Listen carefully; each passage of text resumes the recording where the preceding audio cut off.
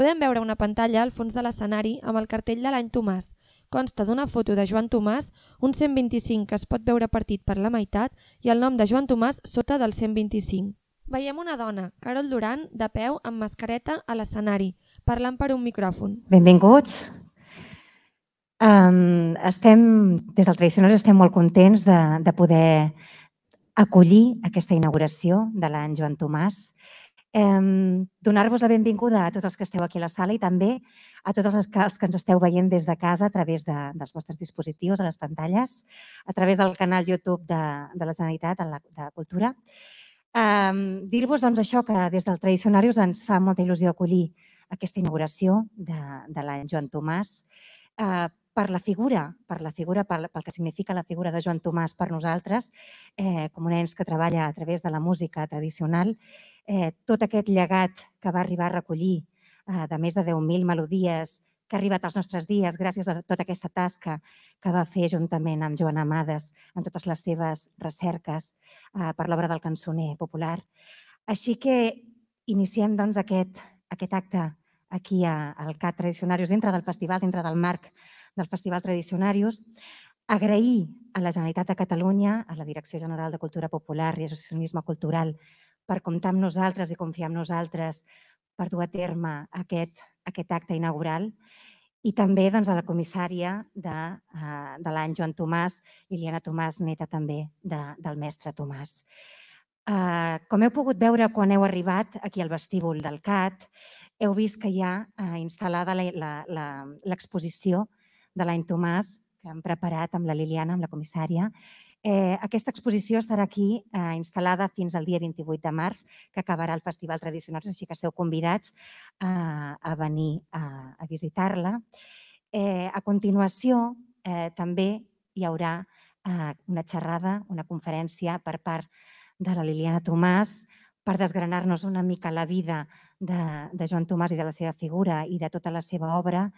Eh, i a continuació hem preparat un concert, un concert especial que, eh, que presentem en primícia, que és una, una estrena eh, per tots vosaltres. És una producció pròpia dintre del festival, en col·laboració amb Barna Sans i també amb, amb la Direcció General de Cultura Popular. Eh, un concert en el que volem tornar a la vida aquestes cançons que va recollir Joan Tomàs i tornar-les a l'escenari. Per dur-ho a terme, eh, Després ho podreu veure, però comptarem doncs, amb, amb el lideratge de Carles Velda, eh, que ha coordinat aquest concert per tornar doncs, aquestes cançons als escenaris juntament amb Gisela Bellsolà, que ha arribat del Rosselló, amb Jaume Arnella, com a convidat especial, i amb Sandra Montfort, que arriba de València. Així que són tres generacions que estaran a dalt de l'escenari i, i que tornaran doncs, d'aquesta doncs, forma aquestes cançons a tots nosaltres, perquè, com deia Joan Tomàs, una de les frases que ens va dir la Liliana, que ens va agradar molt, és que les, el que ell volia és que les cançons que eren del poble tornessin al poble. I ara sí, eh, a dir-vos també que hi ha la Tradillibreria, que està aquí fora, eh, en la que, si us ve de gust, podeu adquirir també el llibre de Joan Tomàs. I ara sí, dono la paraula a la directora general de Cultura Popular i Associacionisme Cultural de la Generalitat, a Maria Àngels Blasco. Carol Duran surt de l'escenari i entra Maria Àngels Blasco. Col·loca els papers al faristol que es troba davant del micròfon. Bé, sigueu tots molt benvinguts. Estem molt feliços de ser avui aquí. Just donem el tret de sortida a l'any Tomàs, que de fet no és un inici, sinó que hem de dir que és la continuació d'un gran projecte que es va anunciant i es va anunciar ja des de l'any passat.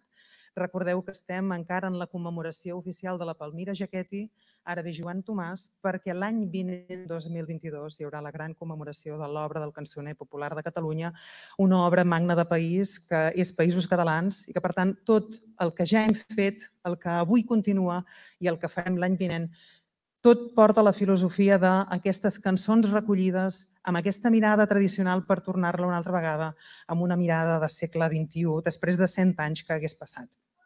Vull donar la benvinguda al districte de Gràcia, avui que ens acompanyen, l'ICUP per descomptar tota la gent de la Direcció General de Cultura Popular, de la Generalitat, la família, la comissària, la família de Joan Tomàs i tots vosaltres, els que esteu aquí presents i els que ens veieu de lluny, Uh, L'streaming ens permet això, ens permet poder connectar amb tots aquells que avui per qüestió de comarques tampoc no poden venir aquí, per qüestió de foraments, per qüestió de tantes i tantes altres coses, no ens permeten eh, fer l'acte com potser ens hagués pogut agradar, però d'aquesta manera arribem també molt més lluny. Joan Tomàs i Parés va ser un músic molt actiu, entregat incansablement a la cultura del país. La seva aportació al patrimoni cultural català és insubstituïble, tant per la seva quantitat com per la qualitat de la seva obra, a través de l'estudi, la investigació i la transmissió en classes, escrits, conferències i concerts. Va realitzar una important tasca de recerca i recull de cançons, danses i músiques instrumentals populars. Va treballar per preservar i promoure la música popular com a patrimoni de la cultura catalana. També va ser un dels grans impulsors del moviment coral català i de la renovació pedagògica, musical i rítmica. Totes aquestes idees, immerses en la seva personalitat, queden manifestes també en les seves composicions. Joan Tomàs va ser un gran pedagog i músic destacat en diversos àmbits, pianista i organista. Amb tot, les facetes que més va destacar va ser com a director, folclorista, mestre i compositor. Relacionat també amb el món de la dansa, va ser nomenat director musical de l'Esbar Català de Dansaires i va estar vinculat tota la vida al Palau de la Música, ja sigui des de ben petit cantaire a director i prenent responsabilitats a la Junta. L'any que iniciem, el Tradicionarius, avui, el mes de març, ens permetrà descobrir aquestes facetes de Joan Tomàs, per una banda, per les composicions pròpies de l'obra de la creació i de diversos estils, i per l'altra, com a membre de les missions de l'obra del cançoner popular de Catalunya, conjuntament amb noms com Aureli Campmany o Palmira Jaqueti, de qui estem acabant la commemoració. El seu testimoni ens aporta molta informació del moment històric ja que la seva documentació relacionada amb l'obra del cançoner ens parla de tota la part etnològica d'una Catalunya a punt de desaparèixer en quant al costum de cantar abans de la Guerra Civil. La comissària de l'any és la Liliana Tomàs, neta del mestre i gran coneixedora de la seva obra, i a ella i a la seva família li devem la tasca de divulgació que han estat fent en els darrers anys per difondre l'obra del seu avi. Cal destacar en l'elaboració de les activitats una volguda territorialització. Hi haurà activitats a moltíssimes comarques de Catalunya que ressegueixen les 23 missions de recerca de cançons que va ser capaç de realitzar i per les quals va recollir un volum de 10.000 cançons. Amb el lema que les cançons tornin al poble i que el poble les canti, s'han programat múltiples concerts, conferències amb grups ben diversos del país i de procedència territorial ben diversa, però que serà el testimoni de grups de música tradicional que segueixen el seu llegat revisant el cançoner popular i actualitzant-lo als nostres dies. A destacar el concert homenatge de l'escenari es reuniran avui tres generacions i tres territoris, València, Rosselló i Catalunya, un espectacle coordinat per Carles Belda que tornaran al poble les cançons i faran que les canti el poble. Belda s'acompanyarà de la veu de Gisela Bellsolà i de la, de la guitarra de Sandra Montfort per tornar a la vida les tonades recollides pel mestre Tomàs. S'està treballant en l'edició de cançoners i escrits de Joan Tomàs, així com una exposició itinerant que heu vist a l'entrada que explicarà la seva obra. I per acabar, cal destacar, destacar l'espectacle. Tornem-ho a dir. Poble que canta no pot morir retornem les cançons al poble. Tot esperant que el llegat del mestre s'estengui pel país, es conegui i s'incorporin les seves composicions i harmonitzacions o recull de cançons amb l'objectiu que allò que per tradició i de forma natural es cantava en el si de moltes llars catalanes fa aproximadament un segle, avui tornin a sonar i a formar part de les nostres vides. Que tinguem un molt bon any. Maria Àngels Blasco surt de l'escenari i puja Liliana Tomàs. Seu a la cadira que hi ha col·locada a l'esquerra. Al davant hi ha una taula amb un ordinador i un micròfon. Es treu la mascareta que portava posada, es posa les ulleres i comença a parlar.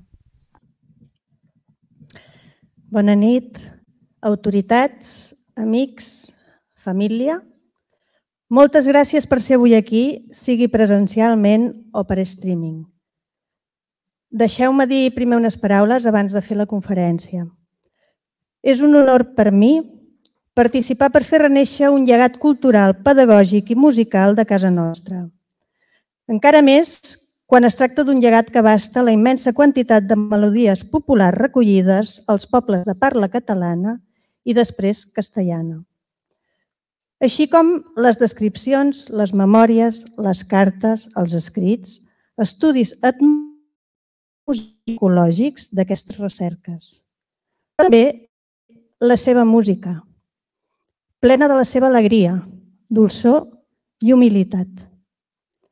A més de la gran quantitat de conferències pedagògiques o musicals i dels programes, revistes, que ens aporten el coneixement d'un dels millors moments històrics de la cultura i la societat catalana.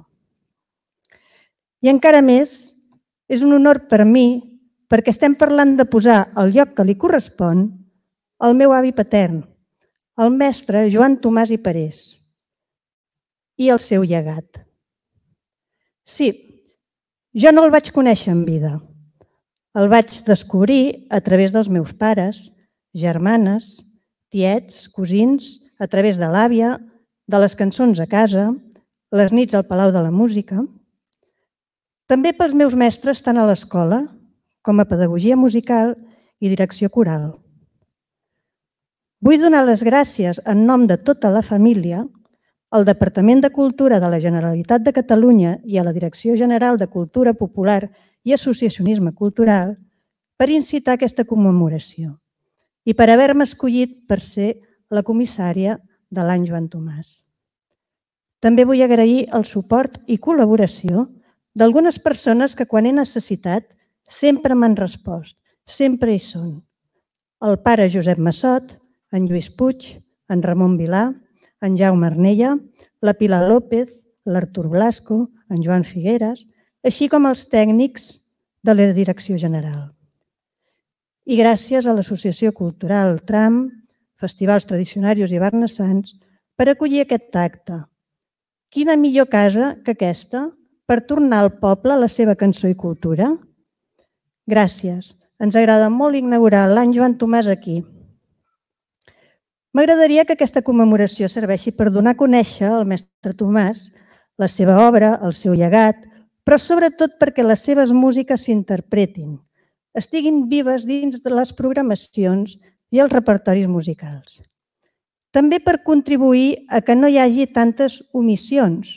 Sí, malauradament, aquí a casa nostra, sigui per desconeixement, sigui per manca de recursos, per la petjada de les guerres i dictadura, oblidem a grans mestres, enterrant i deixant perdre el nostre patrimoni, la nostra identitat.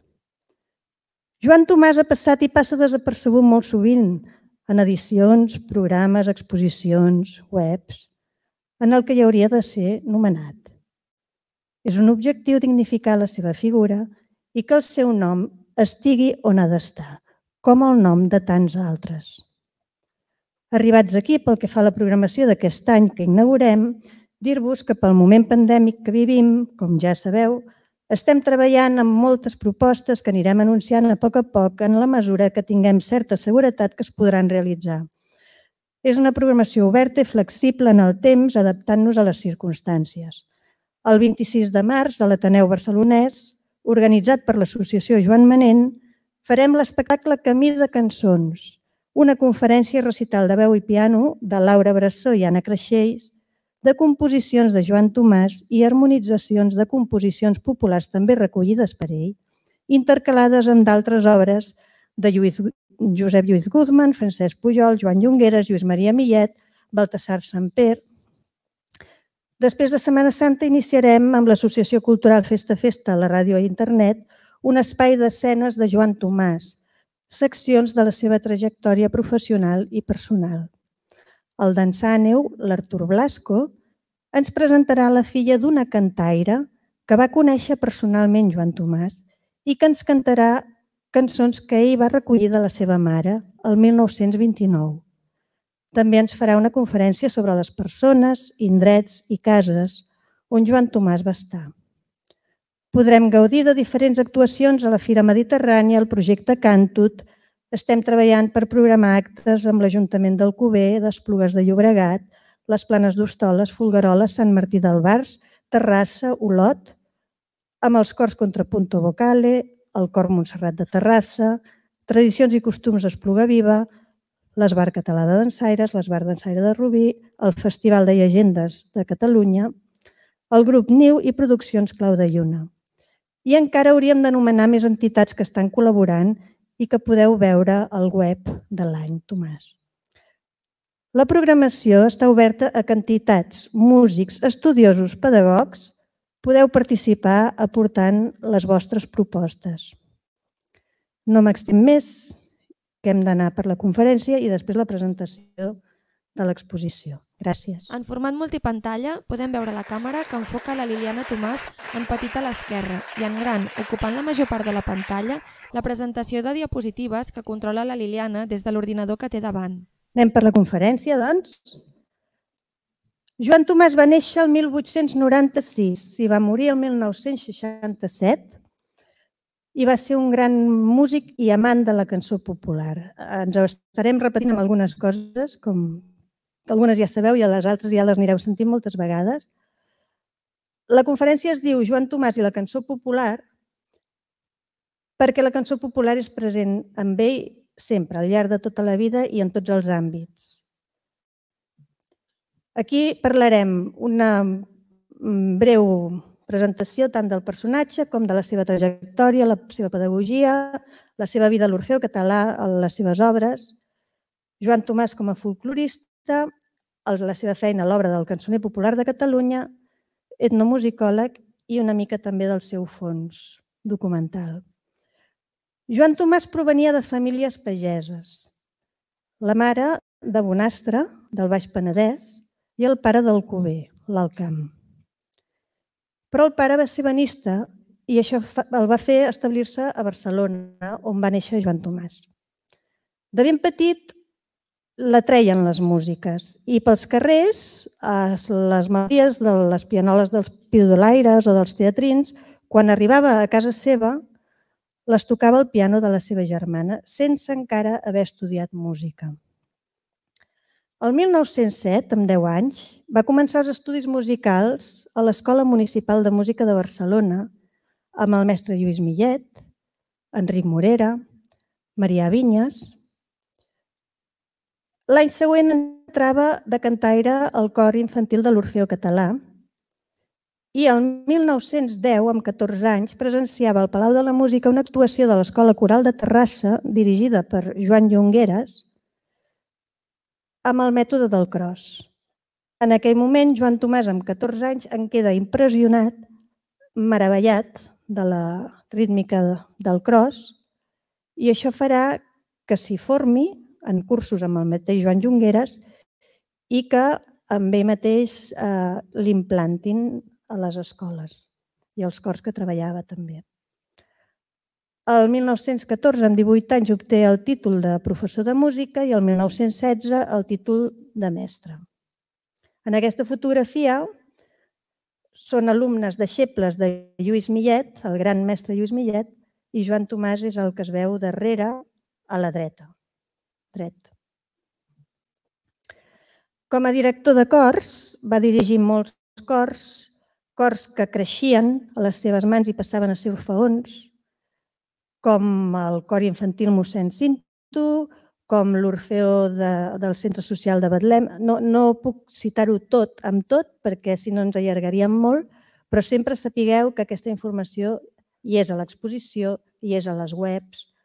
Llavors, algunes coses no les citaré i em sap greu perquè potser algú diu ai, no has citat justament aquesta, no? Però és així, ens hem d'anar adaptant. L'Orfeó Lavens d'Esplugues, per exemple, també va ser un dels orfeons que van créixer molt a les seves mans i va crear tres seccions, l'Escola Coral de Terrassa, el Castellarenc. També va dirigir grups de cambra i orquestres i ell sempre, els cors que dirigia, i ensenyava llenguatge musical i creava seccions de rítmica del cross. Aquí el veiem dirigint amb una missió directa de la Ràdio Barcelona, en la qual n'hi va fer vàries, i aquí també dirigint amb Salvador Puga a l'Harmònium, deixeble seu. Com a professor d'educació musical, va treballar també en moltes escoles. defensava l'educació musical amb rítmica, cançons en moviments i audicions musicals comentades. Va treballar molt amb el mestre Joan Llongueres per donar a la música un lloc preferent a l'escola. Va ser una lluita important i introduir i aplicar a Catalunya el mètode de rítmica i plàstica Jacques del Cros. Va treballar a les escoles de l'Ajuntament, quan Joan Llongueres n'era el director musical, als jesuïtes de Sarrià durant molts anys, a les escoles Blanquerna, a les escoles Ribes de Rubí, que aquest últim mes han sortit dues àvies de 80 i pico d'anys que se'n recorden d'ell com el seu mestre i una amb tres llibretes que ens ha donat. Bé, hi ha altres escoles que no les nomeno totes. Una cita de Joan Tomàs, el 1932, diu Jo crec que la solució és a l'escola. Eduquem sòlidament els nostres infants. Fem que la música, la bona música, tingui un lloc preferent a l'escola. L'Orfeo català per Joan Tomàs va ser una família. I així ho diu ell a les cartes al mestre Lluís Millet. Més d'una vegada, o sigui, es tracten com una família. I també va ser tota la vida. Ell hi va entrar el 1908, com hem vist abans, i ja no en va sortir. Després ho veureu perquè després detallarem una mica més aquesta trajectòria. Aquí tenim una fotografia del mestre Millet i l'altra fotografia és un festival d'Orfeons al Montjuïc el 1930, en la que Joan Tomàs és el de la dreta. I una cita d'ell, el 1955, que diu Permeteu-me, ara que ve Tom, que expressi el meu agraïment més profund, primer al meu pare per, a, per la idea de, de, que va tenir de fer-me venir a l'Orfeó i després a tots els mestres, sense excepció, que ens han guiat pels camins de l'art més pur i noble, perquè el poquíssim que sóc en el ram de la música, a ells els ho dec, que és, com dic, ho dec a l'Orfeó català. Joan Tomàs sempre va valorar moltíssim els seus mestres, els va tenir presents i els hi va agrair tot el que ell era. I els seus mestres van ser Lluís Millet, Joan Llongueres i Francesc Pujol. En aquestes fotografies també podem veure eh, l'ala d'esquerra, Joan Tomàs, en la benedicció de la senyera, quan el cor infantil mossèn Cinto va passar a ser Orfeu mossèn Cinto el 1921 i el que manté la senyera és Joan Llongueres, jove.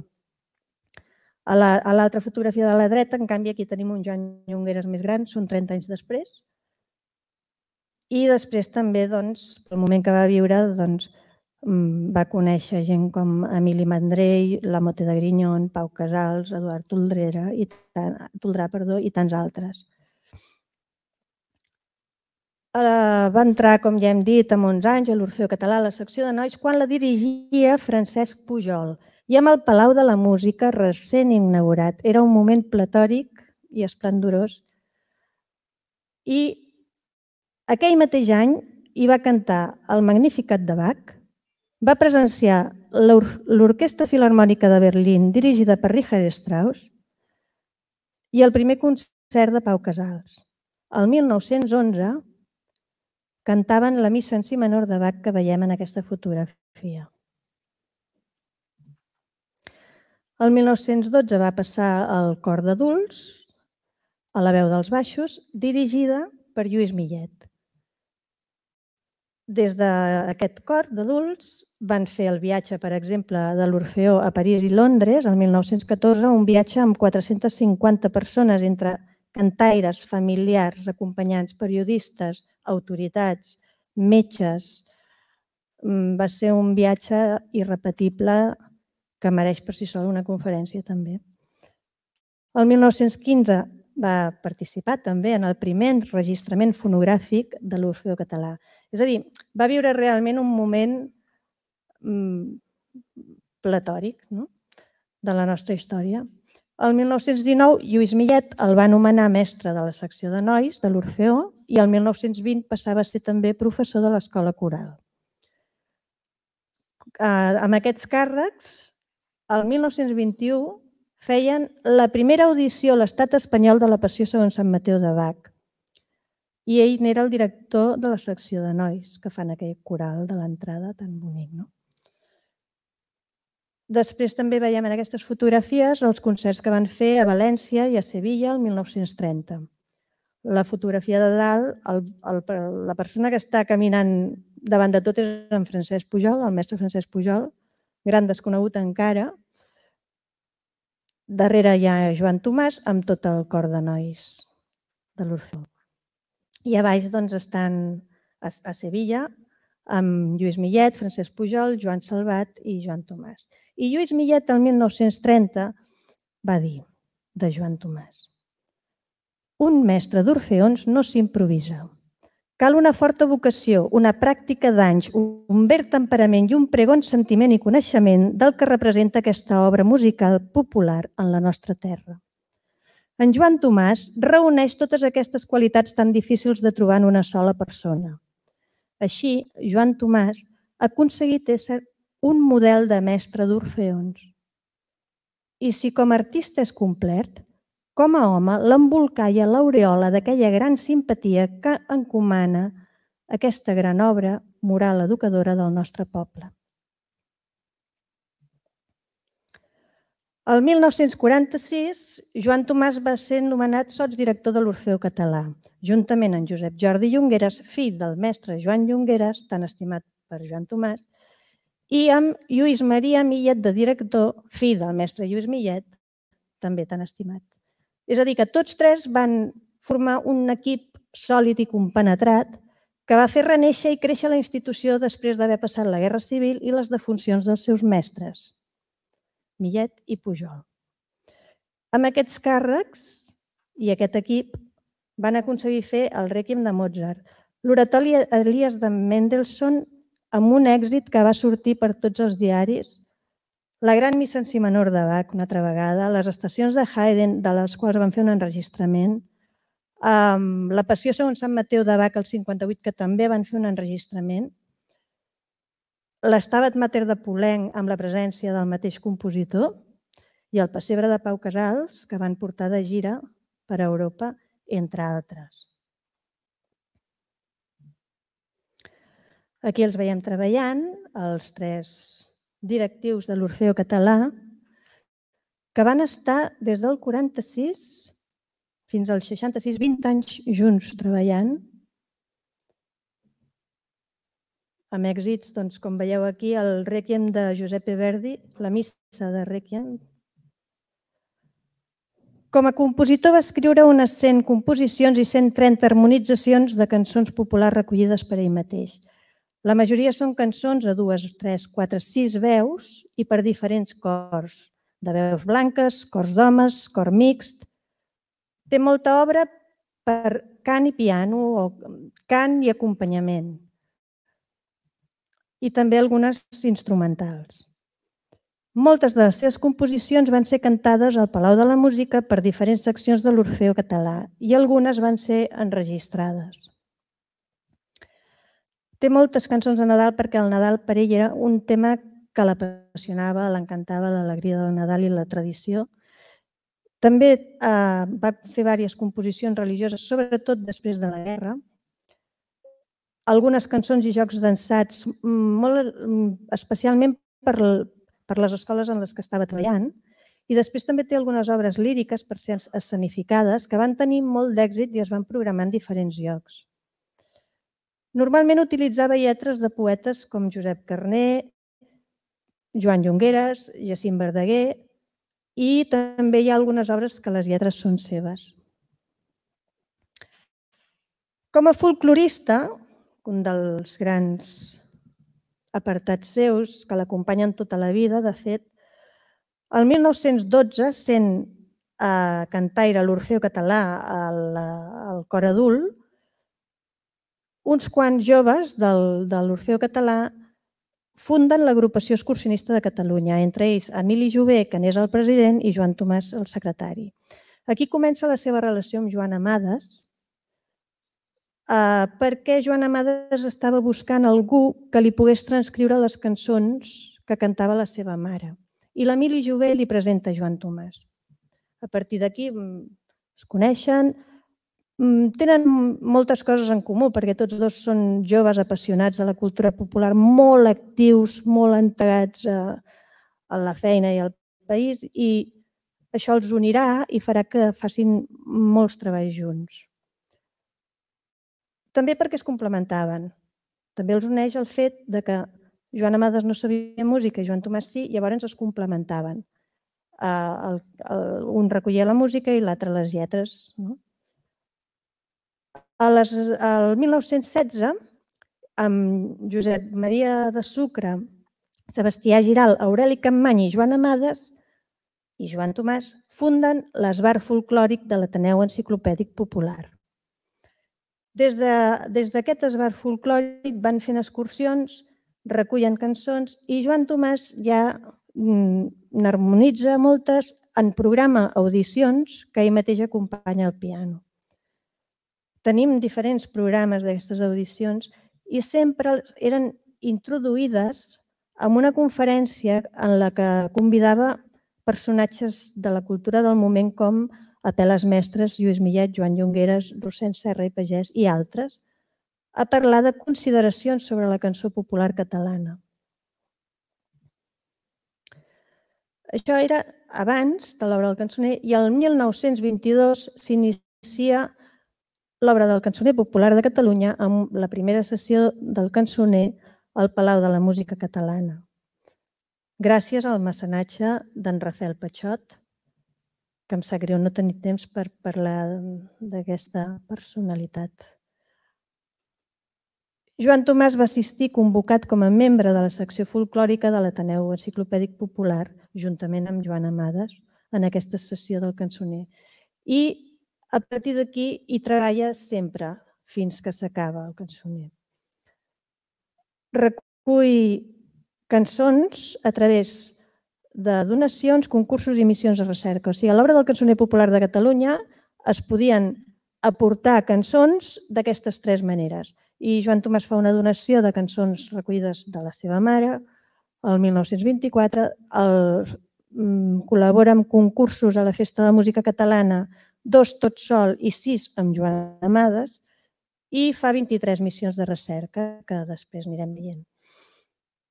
L'obra del cançoner popular de Catalunya arribava a tot el territori dels països catalans. Eh, ell amb les missions va arribar fins al Vallespir Conflent, fins a Castelló, fins a la Franja i arreu de, de Catalunya. Recollien tant cançons com danses, entremesos, rondalles, llegendes, refranys, jocs, instruments de música. Els missioners, per l'obra del cançoner popular de Catalunya, a més a més havien de fer un diari. Ells signaven, tenien un contracte laboral i signaven unes ordinacions, unes normes, i havien de fer uns diaris de camp, havien de fer unes memòries en les que eh, havien d'anar descrivint tots aquells elements etnològics que són el patrimoni cultural nostre. No? Descripcions de vestuari, de costums, de maneres, d'expressions de cases, d'oficis. També, a més a més, eh, havien de fer fotografies dels cantaires però també dels elements, dels detalls de, de masies, de carros, de pobles, de campanars. Aquesta fotografia que veieu aquí, que és molt coneguda, és, estan Joan Tomàs i Joan Amades recollint cançons a Balaguer el 1930.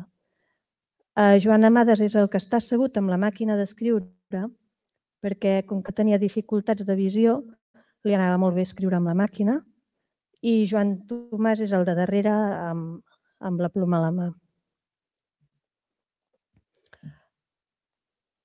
Uh, normalment les missions les feien dues persones, un músic i un literat. Però sobretot, com a mínim, hi havia d'haver un músic. Aquestes són les paraules que, que estan en la normativa. No és que us ho expliqui jo. És la normativa de l'obra del cançoner diu això. Havien de fer-ho dues persones, un músic i un literat, i com a mínim un havia de ser un músic per garantir la fiabilitat de les melodies recollides. Perquè la recol·lecció havia de ser exhaustiva, perfecta, tal qual la cantaven els cantaires.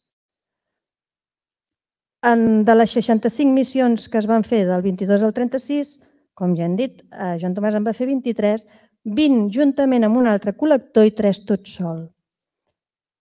Va fer una missió amb el mestre Joan Llongueres, dues amb el fill del mestre Joan Llongueres, Bartomeu Llongueres, una amb un altre fill de Joan Llongueres, Joan Llongueres, i eh, dues amb Antoni Bonell i Sala, que era cunyat i sogra seu, 11 amb en Joan Amades, una amb en Lluís Maria Millet i una amb Esteve Albert i Corp. I aquí he volgut posar tota la resta de missioners que van fer missions per l'obra del cançoner popular de Catalunya, perquè em sap greu que mai els nomenem. No? I sembla que el cançoner només l'hagin fet dos o tres o quatre. I no, aquí doncs, doncs Higin Inglès, eh, Palmira Jaquetti, Baltasar Samper, etc. Eh? En, en aquesta fotografia el veiem recollint doncs, les cançons d'aquesta cantaire. De fet, està retallada. Aquí també hi ha en Joan Amades. Eh? Uh, Joan Tomàs escoltava i desxifrava i transcrivia les melodies interpretades, uh, ja fos cantant, ja fos de flaviols, d'instruments, i uh, ja us ho he dit abans, només li calia escoltar-les un sol cop les, tra les transcrivia d'oïda. Uh, havien d'utilitzar el fonògraf, però moltes vegades no els hi funcionava, no els hi anava bé i a més ell concretament doncs, tampoc el necessitava no? i ho feia d'oïda. Aquí tenim uh, la fotografia de Dalis al Vendrell, el 1928, recollint la música d'aquest Flaviolaire. I a baix està recollint música a la cortada de Santa Maria de Marlès, el, el Lluçanès el 1931. Aquesta frase de l'ànima de l'obra del cançoner havia sortit en diaris. Uh, com feien les missions? Doncs havien d'establir una, un, una àrea geogràfica que havien de recórrer. Normalment duraven entre un i dos mesos i normalment es feien a l'estiu. I abans de fer la missió ja es posaven en contacte amb persones conegudes del poble que tinguessin cert prestigi de manera que els hi fessin de pont amb els cantaires, que els hi busquessin els cantaires i així mm, eh, que aquests cantaires tinguessin més confiança per cantar, perquè moltes vegades es trobaven en que mm, la gent no tenia confiança per cantar no? i què ve fer aquest, que, què vol fer amb les cançons, i costava una miqueta. Llavors feien això. Abans ja intentaven posar-se en contacte doncs, amb el rector, funcionaris de correus, eh, gent coneguda, que els pogués acostar. Aquesta és una de les cartes, o sigui, ells també havien d'anar fent cartes als directius de l'obra del cançoner. Uh, és un fragment d'una carta de Joan Tomàs dirigida a Lluís Millet en la que li diu Hem trobat una pila de cançons boniques i algunes de noves. Hem trobat una, una mina de cançons. El vicari ens té una dona preparada per cantar.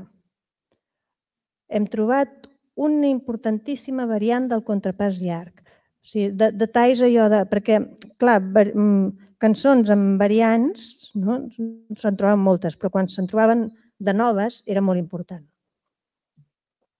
En aquesta altra carta li diu la collita de cançons és abundosa aquest any, potser més que els altres anys, potser també més importants. I en aquí li adjuntaven a aquesta carta diverses cançons, tant lletres com partitures com fotografies dels cantaires. Aquí també veiem uh, un cantaire que era teixidor, el seu taler, i l'era amb el carro. Per, per allò que dèiem de, de recollir elements etnogràfics. Aquestes fotografies les va fer ell mateix també. Aquestes fotografies són del 1932, a la missió de Joan Tomàs i Joan Amades, són de la Fraga i de Maquinensa. Aquí tenim alguns instrumentistes i cantaires. M'agrada dir-ho perquè normalment sempre parlem de cantaires i cançons, però són melodies, perquè hi ha moltes melodies eh, de danses, o senzillament instrumentals. El primer flaviolaire que ha sortit és en Ventura del Vendrell, que va tocar el 1927 al Vendrell el, el Baix Cerdà que després tocaran en Carles i la, la Gisela i la Sandra. Aquí també podem veure, amb tots aquests cantaires, que podien ser tant nens com joves, com adults, com vells i com homes i dones, és igual, i de diferents oficis. En aquest cas és el Salvi, és un cantaire de les planes d'Hostoles, que mm, va cantar moltes cançons, totes les que veieu aquí escrites, però que a més a més ell va fer d'eix a l'entorn del qual giraven els cantaires, anava organitzant. Era, de fet, era el nebot del Genís Terrés, que n'hi va cantar 70 de cançons. I que, a més a més, el Genís mmm, s'hi va entregar de tal manera que els dies que van estar allà recollint cançons va ser com inseparable. Els ajudava amb tot. Es passava les nits pensant quina cançó li cantaré, escrivint-se les lletres per en recordar-se'n. I l'últim dia, els va voler acompanyar a l'estació de tren i tot portant-los les maletes i quan marxaven li caien les llàgrimes. Si, si llegiu les descripcions, són molt emocionants.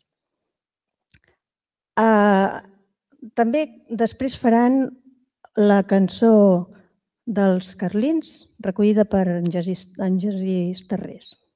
Ui, perdoneu.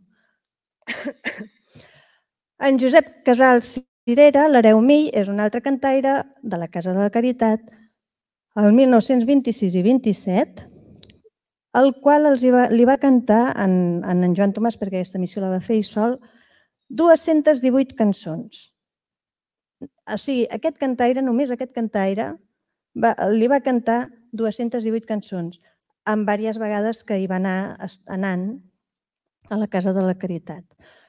A més a més, era un personatge peculiar, perquè afinava molt, tenia una memòria prodigiosa no? I, i també per la seva experiència de vida. Llavors, Joan Tomàs em va fer una conferència que a, a l'Institut Espanyol de Musicologia va editar i la va fer en diferents llocs. Tant a les, a les memòries de les missions com a les descripcions dels personatges o de tant en tant apareixen experiències o anècdotes descrites. En aquest cas és eh, la missió de les planes d'Hostoles, el 1922, és la primera missió que va fer Joan Tomàs i que la va fer amb en Joan Llongueres, que els veieu aquí ben joves. I eh, en aquesta anècdota ells expliquen, aquesta, aquesta descripció és de Joan Tomàs a la seva llibreta, que explica que eh, després de tot el dia de treballar els cantaires eh, acudien per cantar les cançons i es creava, el silenci era absolut, diu. La sala de sessions s'omplia de, de gom a gom i l'interès que despertaven aquelles cançons que semblaven ressuscitar de la vellúria era cada dia més viu. Quan algú no se'n recordava bé de la lletra, sortia algú de, del poble que estava escoltant i completava la lletra. I era com una assemblea popular del poble per l'amor de la cançó. Durant el dia, en el poble no es parlava d'altra cosa que de les cançons i això feia que els vells, recordant-les, les tornessin a cantar i el jovent quelcom se'ls encadés. El darrer dia durà la nostra sessió fins molt més enllà de la mitjanit i tothom romangué fins al darrer moment, lamentant que, hagués, que haguessin durat tan poc aquelles velles cantades. I és aquí on ell diu la frase que deia la Carol abans. No cal solament recollir les velles cançons del passat, cal també fer-les reviure i retornar-les al poble. En aquesta mateixa missió, però quan estaven a Santa Coloma de Farners, Joan Llongueres a la memòria explica una altra anècdota que diu eh, vam voler fer una conferència sobre la cançó popular a la sala de, de, del poble, al centre autonomista, i la sala es va omplir de gom a gom.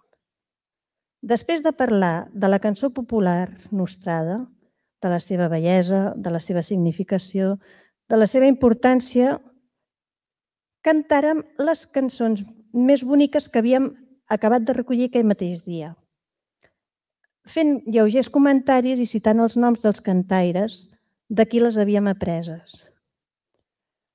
No es pot pas donar una idea de la impressió general que els causà aquestes audicions de cançons. La major part ploraven. Aquelles cançons, tornades a nova vida, eren com un retorn a l'ànima viva de cadascú. Tothom semblava retrobar-se a si mateix i no es cansaven mai d'escoltar-les. Clar, mm, és el nostre patrimoni, no? Realment l'obra del cançoner popular de Catalunya és molt important. Estarà molt bé el 2022 recuperar-la. Aquí tornem a veure en Ventura, que faran el Baix Cerdà amb la seva família. Aquí, aquest és un fragment de la memòria de la última missió que Joan Tomàs va fer el 1935, en la qual va fer una proposta a l'obra del cançoner donada la seva llarga experiència recollint cançons i deia uh, m'atreveixo a proposar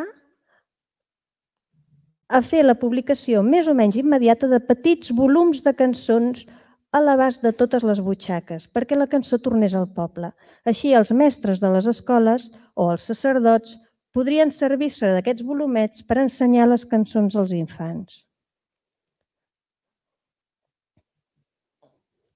Com etnomusicòleg i professor al CSIC, o sigui, el 1945 va tornar, després de la parada de la guerra, no? i l'obra del cançoner popular es va acabar el 36 amb la Guerra Civil, doncs després de tota aquesta parada, el 1945 torna a recollir cançons a través de l'Institut Espanyol de Musicologia del Consell Superior d'Investigacions Científiques. En allà es crea també una secció de folclore musical, primer dirigida per Francesc Pujol, i quan al cap de menys d'un any Francesc Pujol mor, Joan Tomàs és el seu successor en aquest càrrec. I des d'aquesta secció eh, de folklore musical organitzen 65 missions folclòriques per a Espanya, de les quals quatre les fa ell, que va a Cuenca, Sòria, León, Valladolid, Àvila, tot sol. Des d'allà va escrivint cartes en Lluís Maria Millet amb una confiança i una amistat preciosa i li va descrivint com arriba a un poble i per anar a l'altre poble ja no té autobús i ha de caminar 10 quilòmetres eh, sota un sol un, fort.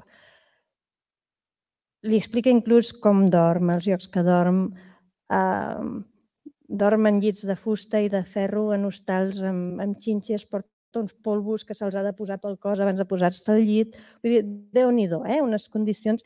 I sempre ho explica amb molt d'humor, perquè té molt sentit de l'humor i fa unes bromes i unes expressions que és molt divertit de llegir aquestes cartes. Fa diverses conferències sobre investigacions musicològiques com a fruit del treball de camp. Algunes d'aquestes conferències les va publicar el, el CSIC a l'anuari musical. En tota una vida de recerca, Joan Tomàs i Parés va recollir, com ja hem dit, més de 10.000 melodies, la majoria de les quals es poden trobar als volums dels materials de l'obra del cançoner popular de Catalunya, el costumari català, perquè era el músic que acompanyava Joan, o s'acompanyava mútuament. Per tant, les melodies que ha publicat doncs, Joan Amades eren transcrites per Joan Tomàs, i hi ha molts cançoners de música tradicional i folclòrica de Catalunya, com el cançoner de l'Amades. També dir-vos, eh, amb un article que ell va escriure el 1935 sobre la missió de recerca... Ai, a vegades me'n vaig el micro, ai, no em sentiu bé? Um, perdoneu. doncs, en un article de la revista musical catalana el 1935, ell parla de l'última missió aquesta que va fer, però a més a més eh, descriu com s'han de fer les missions de recerca. Com que té experiència, diu, per acostar-vos als cantaires heu de fer això, heu de fer allò, no explica una sèrie de coses. I acaba aquest article dient és un cas únic en el món, el de la nostra Catalunya, tan petita d'extensió i tan gran d'esperit. És ben bé un poble d'ànima artista. El seu fons documental Tal com veieu en aquesta fotografia, està al Centre de Documentació de la Direcció General de Cultura Popular i Associacionisme Cultural de la Generalitat de Catalunya. Al costat del fons documental de Joan Amades, d'en Josep Cribiller, deixeble seu, i altres. També a la Biblioteca de l'Arxiu de Montserrat hi ha tots els originals del, del reculls de l'obra del cançoner popular. Al CEDOC, el Centre de Documentació de l'Orfeu Català, hi ha moltíssimes fotografies, cartes, partitures. Eh, no hi ha un fons de Joan Tomàs, hi ha el fons de Lluís Millet, de Lluís Maria Millet, de, i d'altres, d'Emili Vendrell, de Francesc Pujol. Llavors, en diferents fons, hi ha el mateix fons de l'Orfeo Català i del Palau de la Música, hi ha molta informació també d'ell. El Fons de Música Tradicional de l'Institut Espanyol de Musicologia també és referent doncs, a les missions fetes per Espanya. Però també a la Biblioteca de Catalunya, per exemple, hi ha el fons de Joan Llongueres, per tant, allà també hi trobem diferents informacions així com a l'arxiu de l'Escola Coral de Terrassa i altres. Molts ja sabeu que hem obert la, la web del mestrejoantomàs.cat, la família, el canal de YouTube, també tenim un mail per si voleu. També hem obert ja la web de l'any Joan Tomàs des de la Generalitat del Departament de Cultura, anyjoantomàs.cat i també ja tenim un tuit.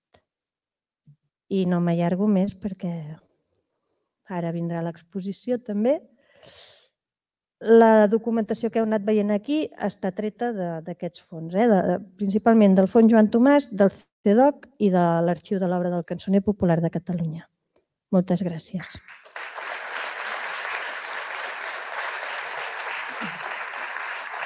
Gràcies.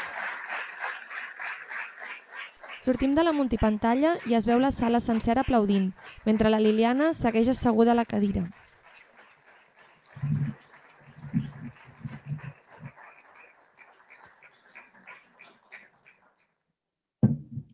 Us explico una miqueta l'exposició per, per inaugurar-la.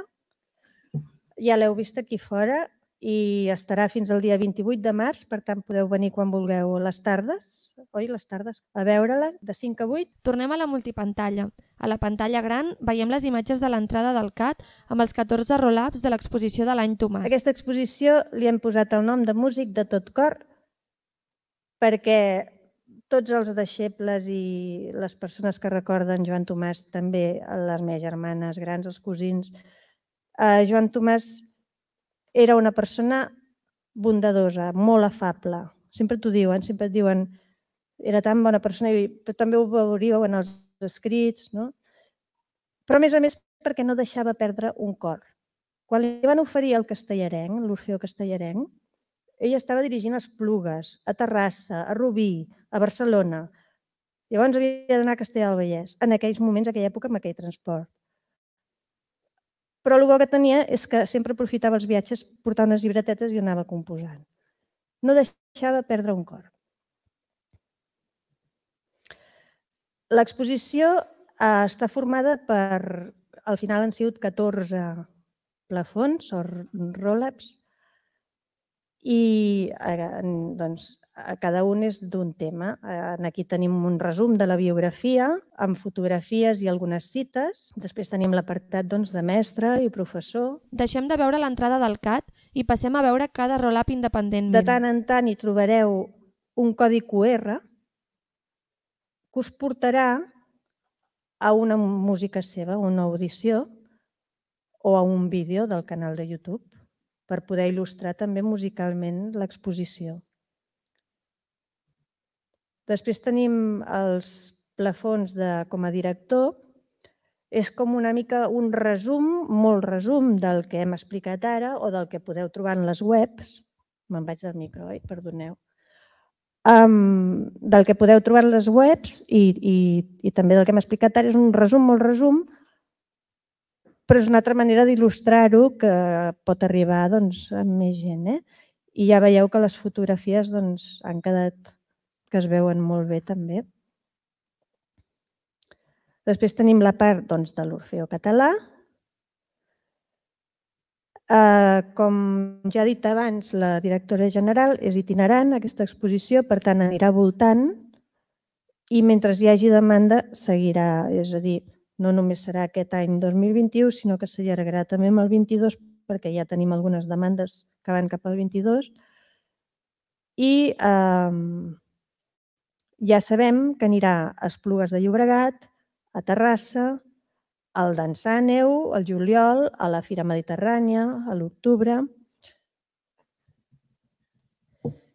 Um, també dir-vos que quan la vam començar, mira, us ensenyaré el següent, aquí de la part de folclorista, eh, és aquesta part de, de l'Ateneu Enciclopèdic, Ateneu Enciclopèdic Popular i de, del CSIC, en aquí, eh? perquè després hi ha la part de l'obra del cançoner popular, aquí tota, doncs quan la vam començar eh, pensàvem en alternar eh, algunes figures de cartró i eh, com amb l'exposició de Palmira Jaquetti i algunes de roll-ups, però ens hem hagut d'adaptar al moment perquè és difícil fer girar una exposició en aquest moment de pandèmia. També havíem comentat de posar unes bitlletrines amb objectes, però requereix d'unes assegurances. És molt més dificultós de poder-ho girar. No? Llavors ens hem d'adaptar al moment i jo crec que s'ha aconseguit molt bé el contingut que volíem plasmar. No? També tenim la part com a compositor, que és un resum doncs, de, de les seves obres,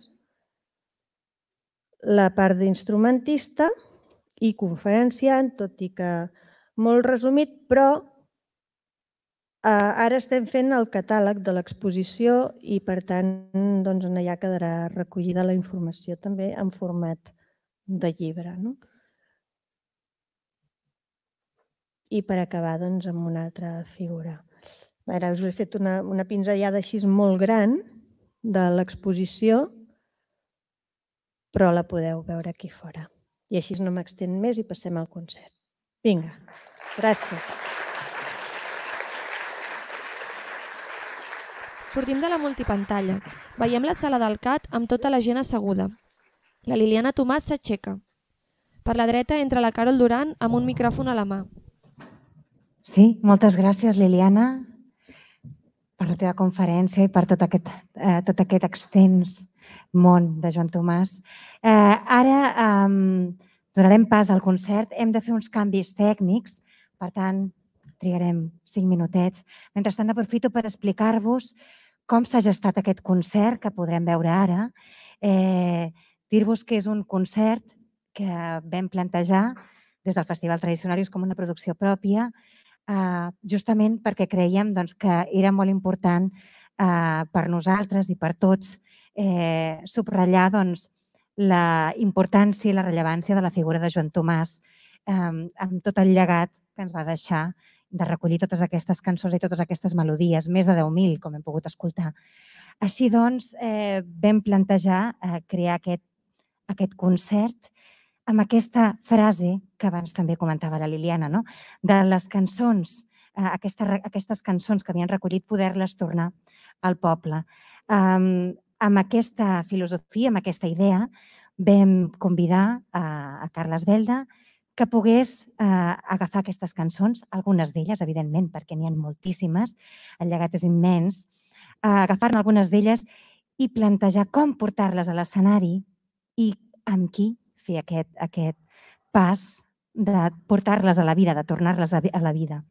Eh, hem buscat eh, una forma de, de crear doncs, aquest grup eh, que fos de diferents generacions, buscant diferents generacions del de l'escenari i també buscant una representació territorial eh, de tot el que són els països catalans. Per tant, eh, aquest concert el durem a terme amb Gisela Bellsolà, que arriba de, de Baó, de, del Rosselló. També des de l'altra banda, perquè han vingut en tren, cadascú des d'una punta, la Sandra Montfort, que arriba des de València, des de la Marina Alta, des de Pedreguer, que potser la coneixeu també eh, eh, de Marala, que és un, un dels grups que també van estar eh, fa unes quantes setmanes aquí dins del Festival Tradicionarius. Eh, que és un dels grups ara mateix que també que, que dintre de la música d'arrel que s'estan que s'estan que estan sortint molt. Eh, i que també ve doncs, d'una altra generació diferent de la Gisela. I també tenim doncs, el Carles Belda, que arriba de, de, del Vallès Occidental, d'aquí del Principat, eh, que, com sabeu, ja també té aquesta filosofia de fer tornar les cançons al poble. Crec que ho tenim ja preparat, així que us demano un aplaudiment ben fort al Carles Belda, la Gisela Bellsolà, la Sandra Montfort i en Jaume Arnella, que després també col·laborarà.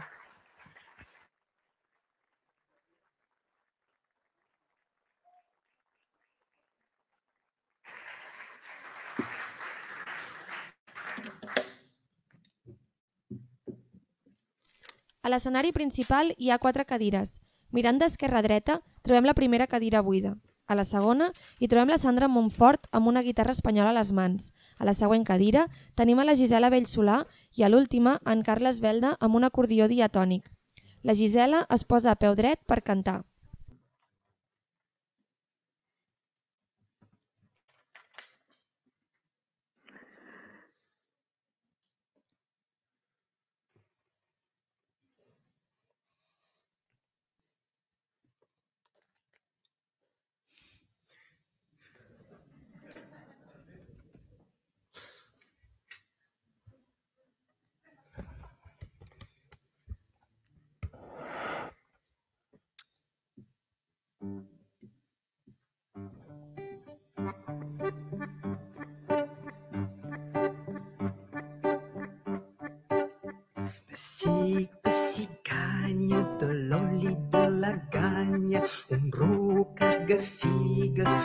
Menja les olives, un gat escorxat que es menja el paturat, una gallina blanca que tot ho escampa, una de negra que tot ho arreplega, a dalt de les vigues hi han formigues, senta la mort, repiquen més fort. Pessi,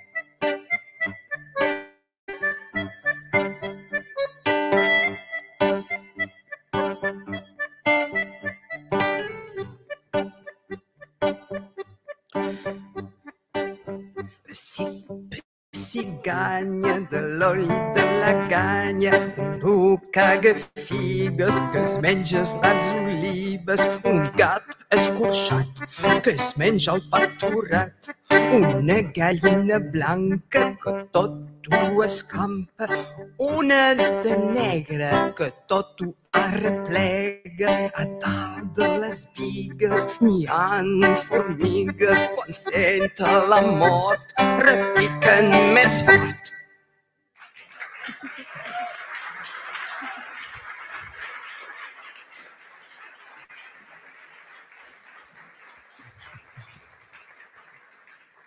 Bé, bon vespre a tothom. Moltes gràcies per ser-hi aquí i a l'altra banda del fil per Screaming. Uh, ja ens han presentat, no ho podem fer nosaltres. Llàstima. Uh, bé, uh, som gent de rigor i és per això que hem fet un... gairebé no hem sortit del perímetre comarcal. Aquesta cançó era d'Esplugues, de Llobregat. Però ja se sap que, clar, quan t'hi poses, oi, de mica en mica, bueno, una mica més, una mica més. I ara farem una versió de l'Operdal, que és una mica més llunyana. Uh, jo vull llegir una coseta abans de començar, que és la Liliana i el, i el Jaume, que han sigut les persones que més informació ens han donat de com orientar el, el recital, ens han dit llegeix els apunts de les cròniques, són boníssims. I tenien raó. L'Operdal diu aquesta cançó va ser apresa a Oceja, Cerdanya, tot anant a dur contraband. Diu que la cantaven en colla de joves desertors de l'exèrcit espanyol, junt amb altres del país. Per tal de donar-hi una bona execució, no sé si l'exèrcit espanyol o la cançó, l'assajaven a Cal Barber, que era la casa més apropiada del poble. Recollida de Josep Casals, Barcelona, 27 d'abril de 1926. L'1 per dalt. Aquí és el pardal, eh? A la meva casa és l'u pardal. Doncs direm Ho l'u faré pardal. com és, eh, Joan Torent ho ha fet. Música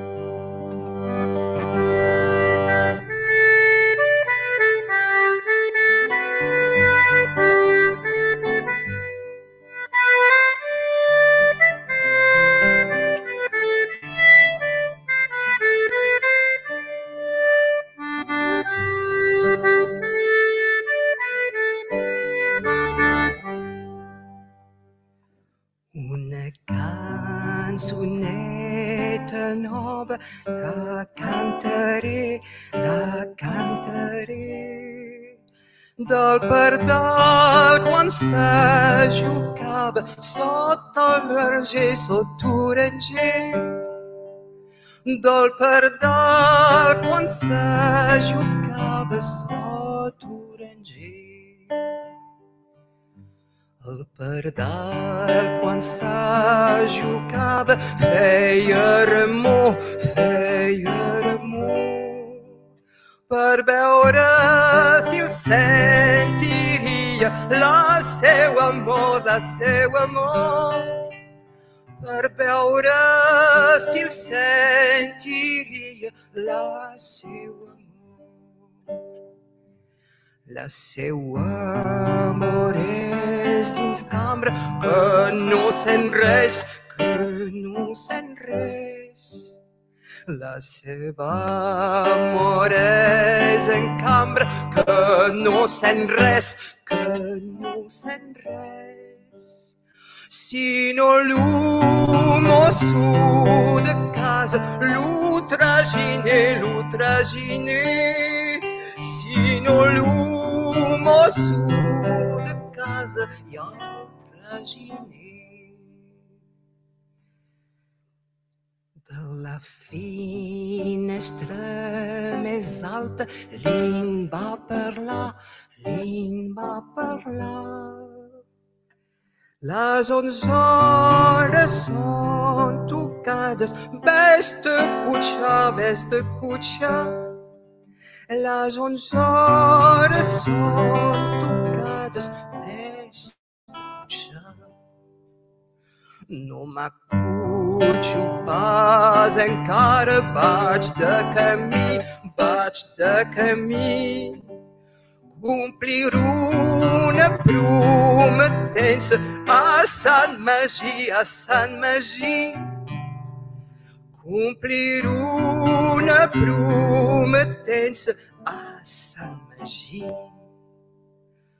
Com a Sant Magí va essa, vaig suplicar, vaig suplicar que em deixés tornar més teres a festejar, a festejar.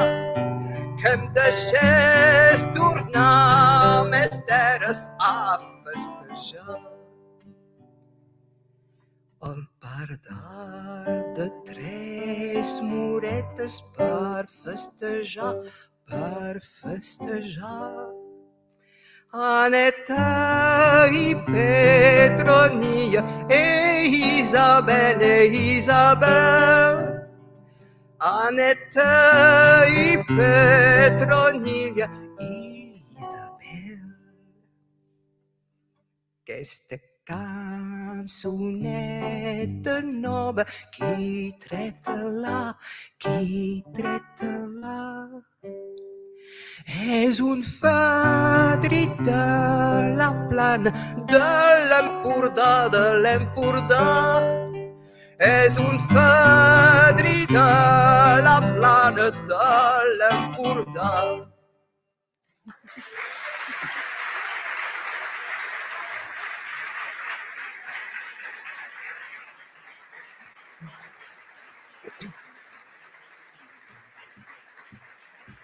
Gràcies.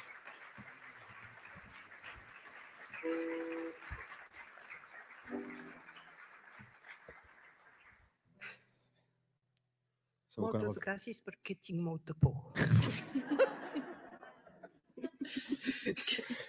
La Gisela m'ha confessat, jo no tenia ganes de cantar més, però l'he convençut perquè hi torni.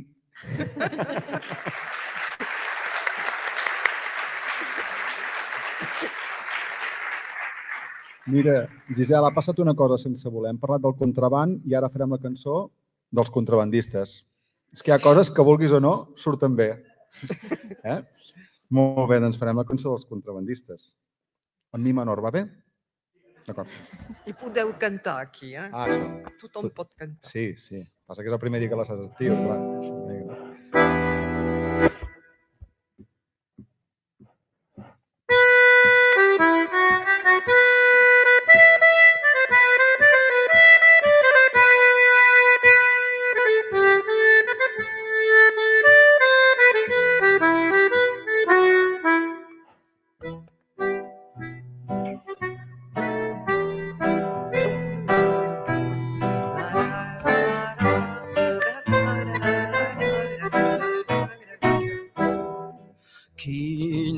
Cançó cantarem, que tots la sapiguem, la dels contrabandistes.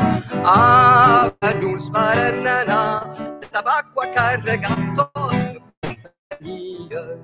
Trum la la la la la la la Trum la la la La la la la la la la la la la la la la la I en passant a Fortanyà a luego va picar la punyetera espia Vos que heu vistos no em direu quan n'hi ha que van de companyia Vos que heu no van. Trum la la la la la la la la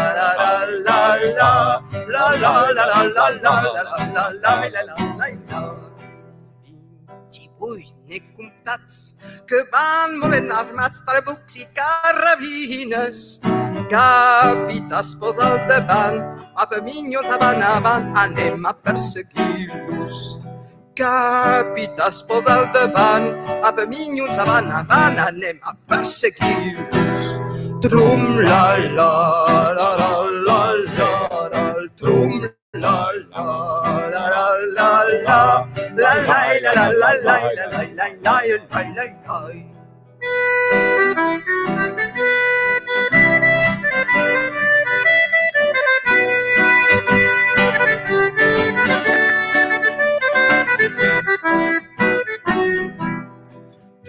la Trum la la la la la la la Trum la la la la la la la la la la la la la la la la la la la Quina cançó cantarem, que tots la sapiguem, la dels contrabandistes.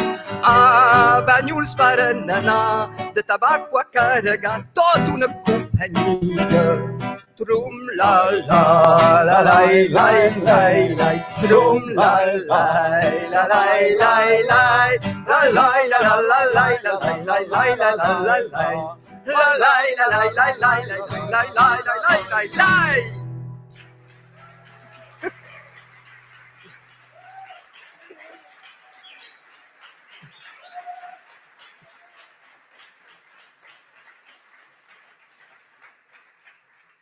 I ara canta el Carles. Sap greu. La Gisela seu a la cadira i el Carles es despenja l'acordió. Mireu, uh, uh, gràcies a aquestes informacions de primera mà de la Liliana i d'una conversa a un viatge per anar a fer una feina amb el, amb el Jaume, que sé moltes coses també, em van comun- explicar això, que durant una època va treballar aquí a Barcelona al CSIC, eh? I llavors van a fer, van a fer missions, eh? que això de missions són una mica de Star Wars, però abans volia dir, vull dir que anaven a buscar cançons a l'espai exterior, va anar. I llavors, jo quan vaig saber això, li vaig dir, Liliana, envia'm les coses més concretes perquè... I llavors em va enviar unes, superbé, unes carpetes numerades. Això és la missió 43, 53. És superxulo, això és una mica astronàutic, tot, cosmonàutic, tot plegat. Però bé, en tot cas, què me n'interessava d'això? Cantaríem en català, ho teníem claríssim, però sospitava que si n'havia anat a l'espai exterior pel Reino d'Espanya als anys 40, era molt probable que allò que recollís no fos estrictament en castellà.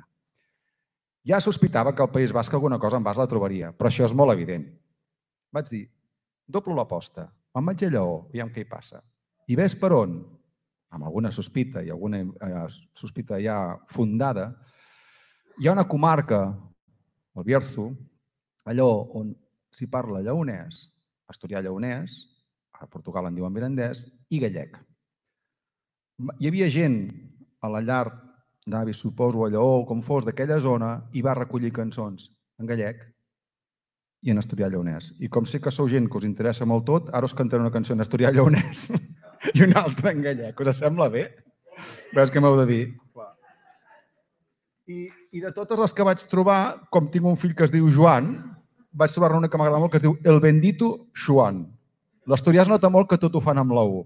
Ja ho veureu. Eh? En parleu d'asturià? A la intimitat. Som-hi. Fan sardanes també, ja ho veieu, eh? Escuchen la historia que os voy a contar. Caso se marulla, caso se conjugan, caso se marulla por un trebalay, la lay, lay, lay, la lay, lay. No hay otro en el mundo más bueno que Juan, siempre está contento, siempre trabajando, nunca está folgando. El bendito Juan, la la la la la la la.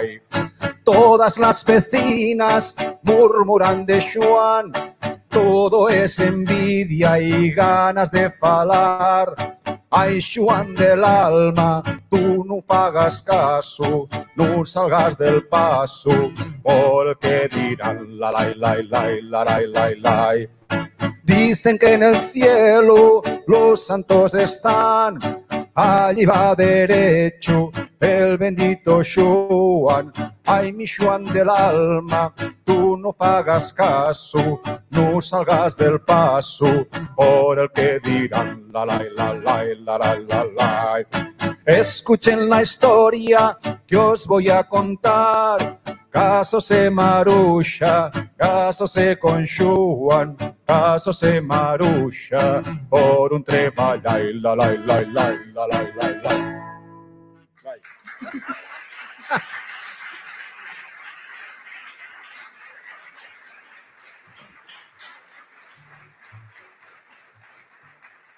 Bé, eh, ja ho sabeu, ara quan torneu a Astúries, que té dues característiques. I parlen asturià i també prenen cacaulat, com nosaltres. Um, llavors, el, la cançó gallega que vaig triar, eh, també recollida, eh, gent de Lleó, però d'origen del Bierzo, eh, és un clàssic de la cançó gallega portuguesa, que és Assaia de, Car de Carolina. És molt probable que la conegueu. El que em va passar és que n'hi havia una lletra i prou vaig pensar home, pel concert i com hi ha pressupost, posaré més de lletra. I llavors vaig, vaig parlar, vaig pensar que s'havia d'actualitzar tot plegat. Hi ha un gran poeta gallec actual que us el recomano molt, que és Sechu Sende. Uh, I li vaig dir, Sechu, tu vas fer un concurs pel Facebook, el Facebook a vegades és útil, va fer un concurs pel Facebook demanant versions d'aquesta lletra en diferents llengües i les, les utilitzaré. És a dir, la lletra que cantarés primera la que va recollir mestre Tomàs, i les altres són d'un concurs de Facebook de fa un any. Ara, molt de nivell. Cantaré en esperanto, en asturià, que ara ja hi esteu avasats, i en basc. La del llatí no he gosat, perquè li volia preguntar al Jaume com pronunciar-ho i no ho faré, perquè no m'hi veig en cor de cantar en llatí aquesta hora. Eh? En llatí diu Caroline ima vestis habet unum pictum lacertum, ut tripudiat Carolina agitat caudam lacertus. D'acord? Com vulguis. Sabeu que Amèrica, quan diuen això té un rima com gallec? És això. Asaya de Carolina ten un lagarto pintado. Cuando a Carolina baila, Oh, lagarto talla o rabo, bailache Carolina, bailen sí señor, dime con quién bailache, bailen como meu Melchor, bailen con o meu Melchor. Una mica d'esperanto, tu. La llupo de Carolina, habas parvitan la certon, Qui amb Carolina danzas, givos tumas en lo vento, bailache Carolina, Bailem, sí señor, dime con quién bailaches, baile con o meu melchor, baile con o meu melchor. Asturias. El mandil de Carolina tiene un lagarto pintado. Cuando Carolina baila, el lagarto mueve el rao. Bailache Carolina, baile, sí señor. Dime con quién bailaches, baile con o meu Melchor, baile con o meu Melchor. Y para acabar, vas. Karolinak pintatuta gonan musker bat darama. Karolina tantzan hasi, tantzan muskerrak bostana, bailatxe Karolina, bailen si señor, dime con quien bailatxe, baile econome un melchor, baile econome un melchor.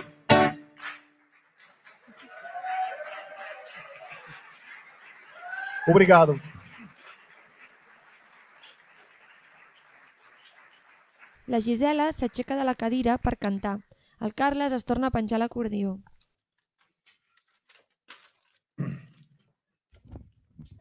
Ara farem un altre clàssic i en aquest cas, Mestre Tomàs, si no m'equivoco, aquest clàssic que va recollir d'un- d'uns dels superherois del, de l'obra del cançoner, que és l'hereu Mill. Aquest home, no sé, les va cantar totes, no? I farem la versió el, Sí. de la dama d'Aragó.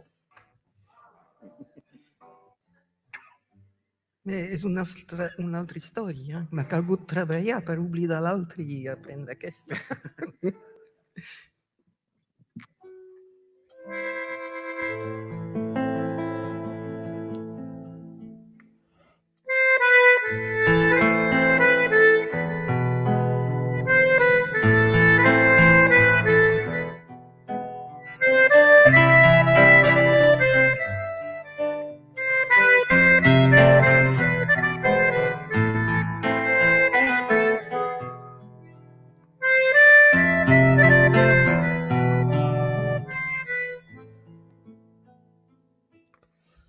La botiga d'un paraire sinestret, una cançó d'una minyona molt maca, rosa n'és com un fil d'or que ja diu Santa Maria, robadora de l'amor que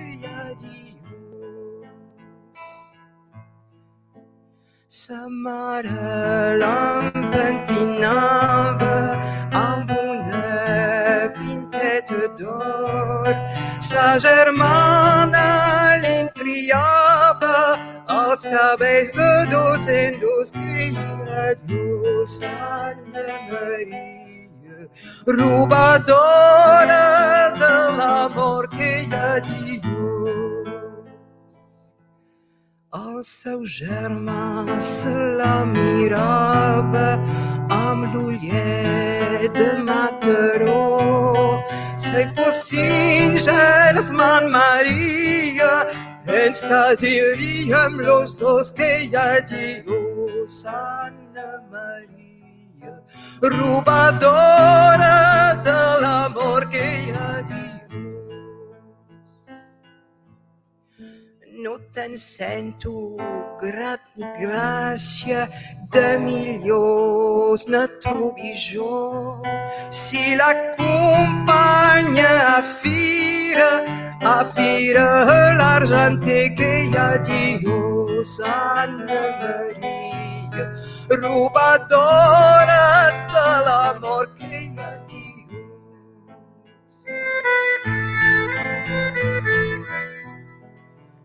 ha diu.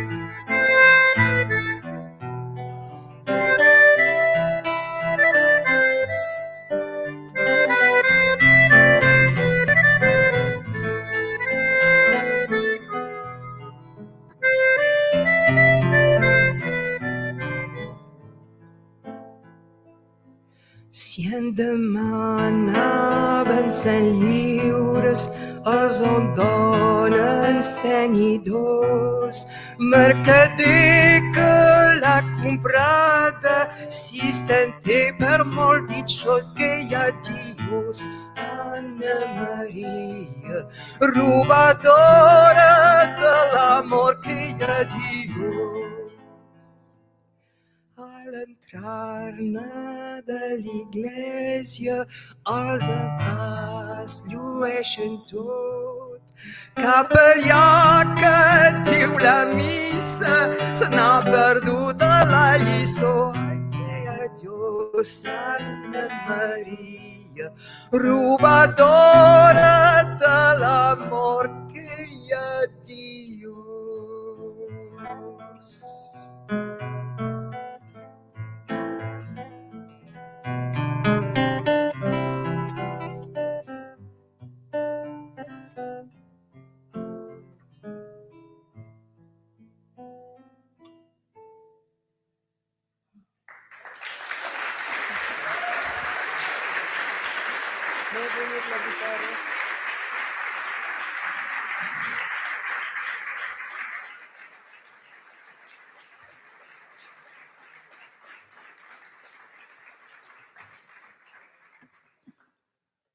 Bé, amb la voluntat de, amb la voluntat que el, el recital fos una mica representatiu, a més del territori, hi havia una petita tria de, dels, dels gèneres dins la cançó. Hem començat amb una cançó infantil, hi ha cançons amoroses, i ara venen totes les de carlins i liberals. Clar, quan es va recollir això encara... bueno, ara encara es nota una mica, eh, segons on vas, però en aquell moment era molt latent. I, si m'ho permeteu, em van fer saber l'altre dia que el Jordi Fàbregas hi tenia una debilitat amb les cançons de Carlins i voldria que tinguéssim un pensament amb ell, ara que farem la cançó de cada un dels bandes.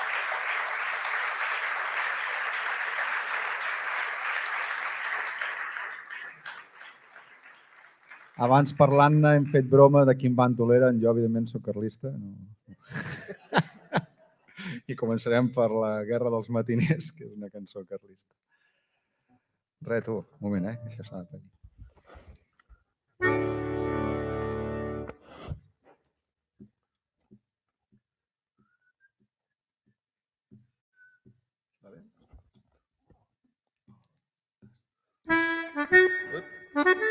M'ha mogut el dit.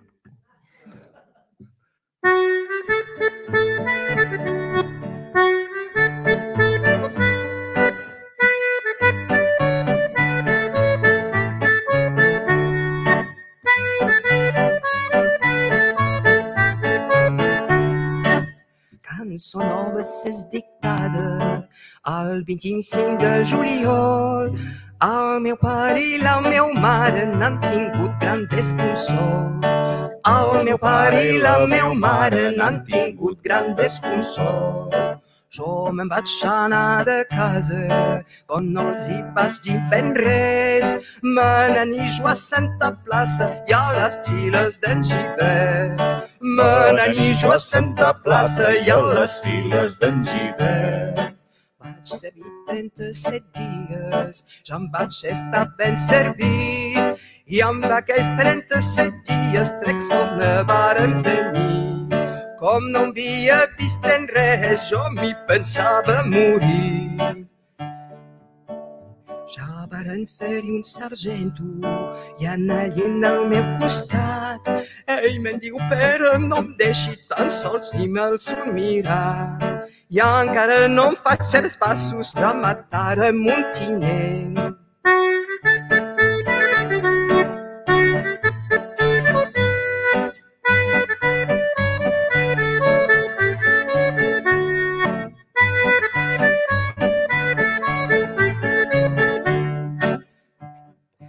Jo no pensava escarpar-me del mig de tanta de gent i el primer foc que tinguera va ser en el pot de Camai i el que em va salvar la vida va ser el pobre d'en Savalls. Com la França està perduda i l'Espanya encara més. Viva Don Ramon Cabrera, general dels matiners. Viva Don Ramon Cabrera, general dels matiners.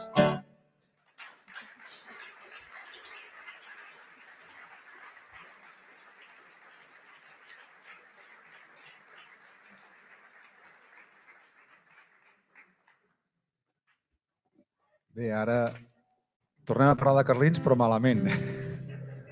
Devien ser els de l'altra banda. Qui diu, recollida d'enginyers terrers a Cal Sabateret de les Planes, que suposo que és les Planes d'Hostoles, no sé, o aquí a la Floresta, no, eh? 28 d'agost de 1922. Sí, com broma, eh? Uh, res, una guerra.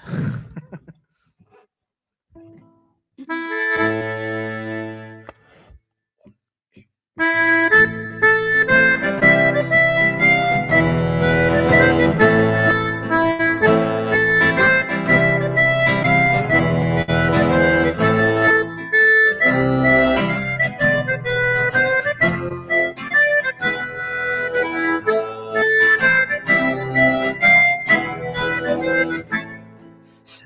vaig sortir de França dient que és mandut del rei. Ha vingut a Catalunya sols per posar-li la llei. Se'n va tractar mieres, diu que ha de tenir consell. Ja l'esperen molt nobles que el volen seguir en ell. Quan arriben a la vila faran un gran convit. Molts gàndols que hi havia, tots hi han acollit. Els uns són presidiaris, lladres i desertors. Mireu quina noblesa tenen baix per minyons. Luego formaren junta, ja en varen decretar tots els que siguin quefes ja poden reclutar. Sigui blancs, siguin negres, no mireu al color, que els qui vindrà amb nosaltres serà religiós.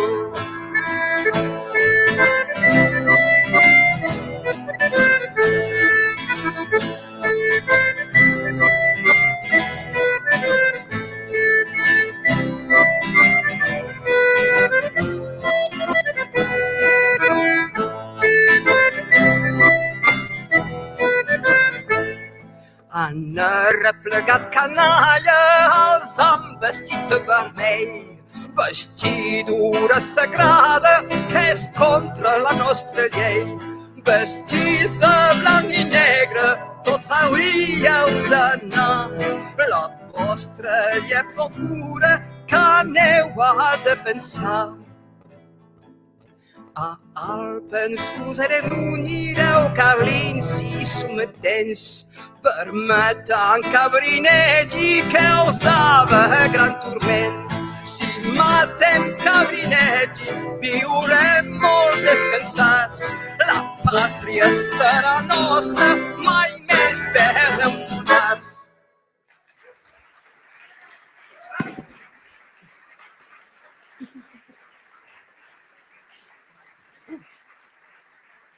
La Gisela seu a la cadira. Ja abans ho dèiem, eh, que som pacifistes, però hi ha un moment, oi, que et fas com nerviós, oi? No, no continuaré, no patiu. Bé, ara ens anem a una altra banda. Cantarà la Sandra. El poll i la puça.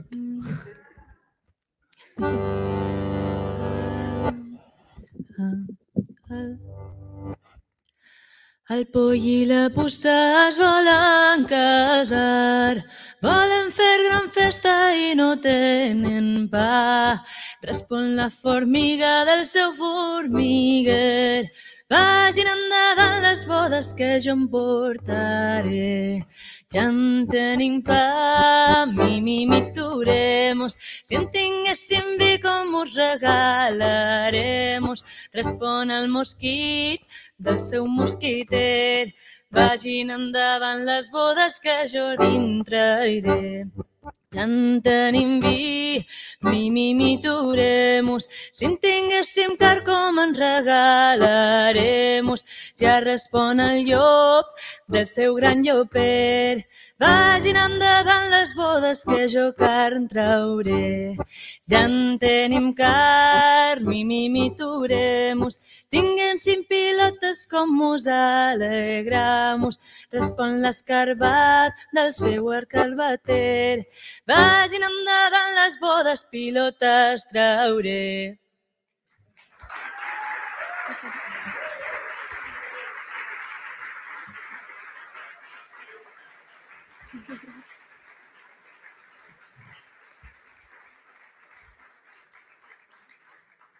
Bé, com, com de ben segut que us has explicat la mar de bé la Liliana, eh, ho arreplegaven tot aquesta gent, eh?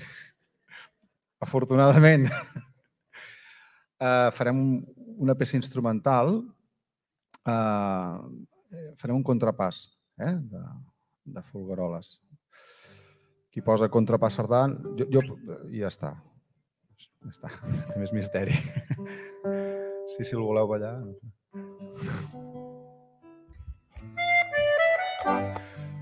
Ara fa uns dies, allà a la Garriga, vaig anar a tocar a la residència i hi havia la mestra de música del poble del piano, de, gent com el Joan Garriga, i vaig tocar una sardana i ella, amb la cadira de rodes, anava ballant amb els peus de sardana. Una de les coses més boniques que m'ha passat fa anys.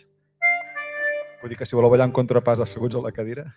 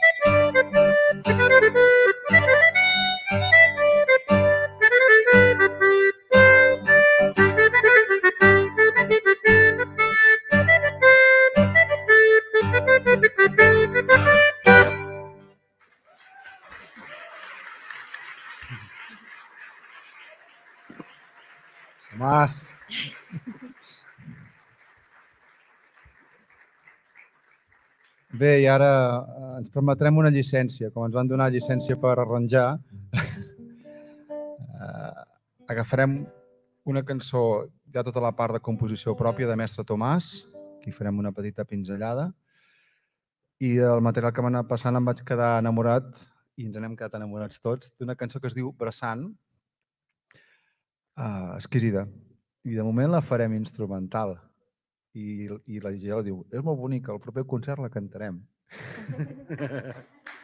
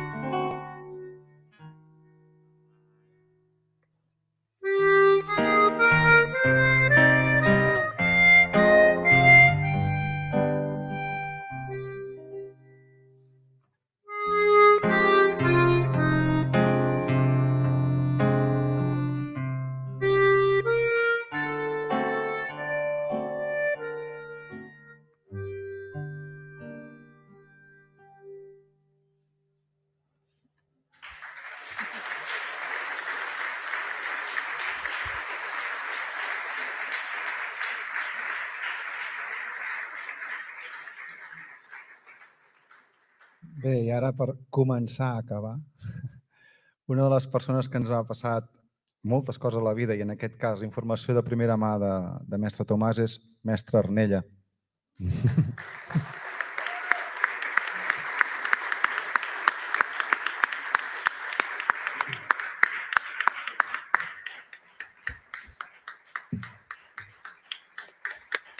Per l'esquerra de l'escenari entra en Jaume Arnella amb un guitarró a la mà i ocupa la cadira que estava buida.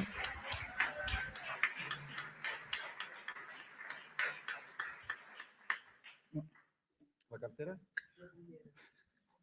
Eh, No, jo...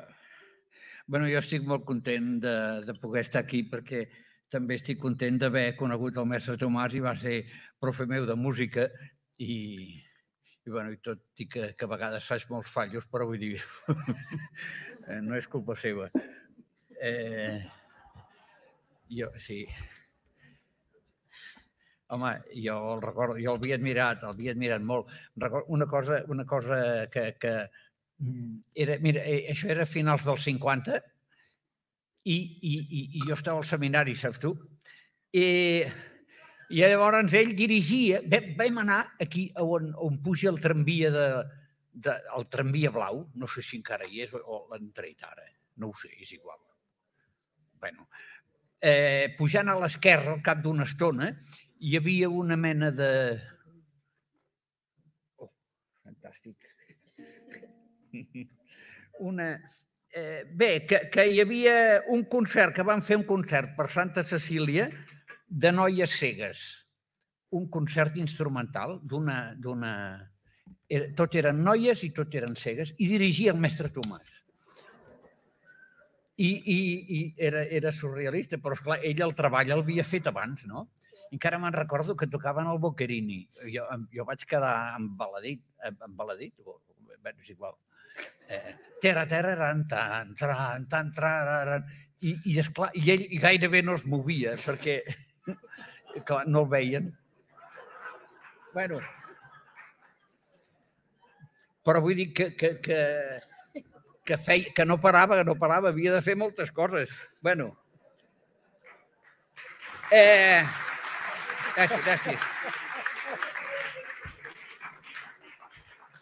I llavors també eh, estic molt content d'haver trobat eh, bueno, d'haver ajudat a trobar eh, les cançons de Mataró, de l'obra del cançoner popular, que es havien perdut.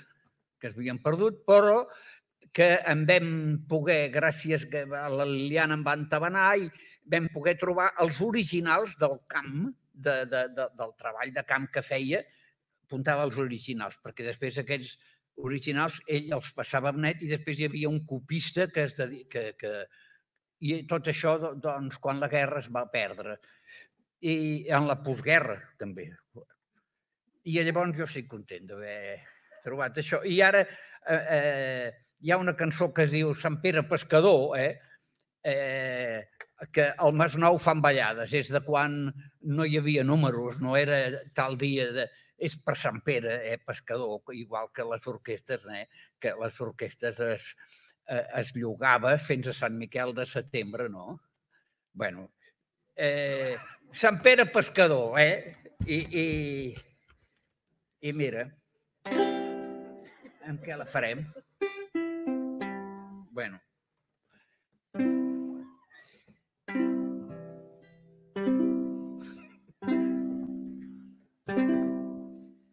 Per Sant Pere Pescador en el mes no fan ballada. Caterina se n'hi va tota ben empolainada. Hola, hola, hola, hola, i la, que em pollo que n'hi ha. Tots els soldats del quartel la miraven com ballava. Quin és aquesta mujer que hi va tan bien peinada? Hola, hola, hola, hola, i la, n'hi ha. És filla d'un carnisser, filla de molt bona casa. Una veïna ho ha sentit i ho ha anat a dir a sa mare. Hola, hola, hola, hola, i la, fem pollo que n'hi ha. Quan sa mare ho ha sabut, de seguida se n'hi anava. Lo primer que li ha dit, Caterina, passa a casa. Hola, hola, hola, hola, i la, fem pollo que n'hi ha. Mare, passeu al davant, que jo ja tinc qui m'acompanya, que tinc quatre padrinets de la primera volada. Hola, hola, hola, hola, i la, que em fem pollo que n'hi ha. Se'n van anar a passar per a voreta de l'aigua. Un ja li renta els peus, l'altre li renta la cama. Hola, hola, hola, hola, la, que fem pollo que n'hi ha. Un ja li renta els peus, l'altre li renta la cama. I el petit més eixerit passa de la lliga cama. Hola, hola, hola, hola, la, que en tempo jugaria. Hola, hola, hola, hola, i la, que en tempo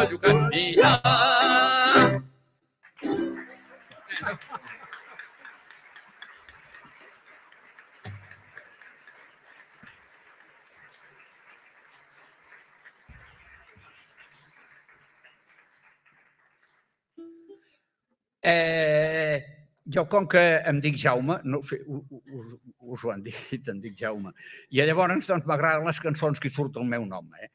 I aleshores aquí, eh, aquesta és una mena de, de, de cançó divertida, maca, com una mena de joia històrica, perquè ens parla de què va passar l'any 35, no ni el 1900, sinó el 1835, que, que hi va haver una crema de convents. Eh? Quan la gent està fent-se els nassos, crema, crema convents.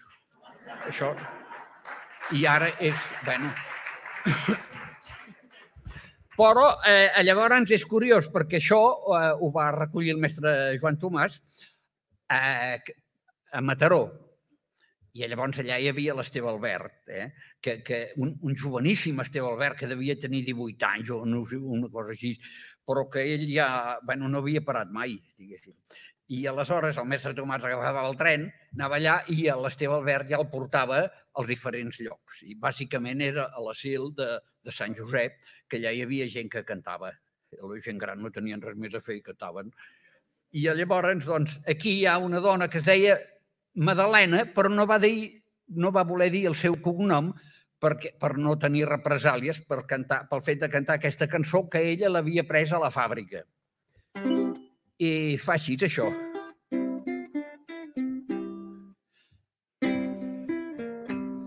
Dia de Sant Jaume de l'any 35 van fer una gran festa dintre del Turín. Van sortir uns toros, varen ser dolents, i aquesta és la causa de cremar convent. Els frares cridaven, minyons, no ens cremeu, us darem la bossa i us la partireu.